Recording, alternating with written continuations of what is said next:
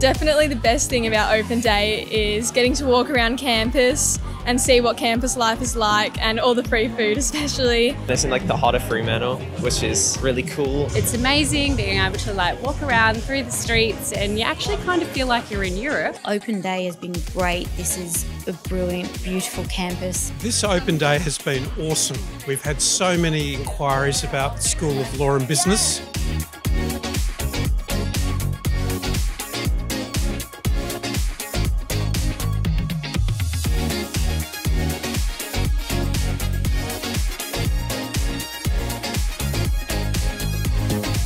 I was in the first undergraduate year and I just loved that it was small. Everybody knew, knew all the students, which was really good. So it was really personal. It's just the community. I don't think, compared to the other universities that I've seen, Notre Dame has the best community. Everyone seems like a whole big family. Don't just feel like a number in the crowd. It definitely gives me an idea of what to expect because I'm hoping to come here.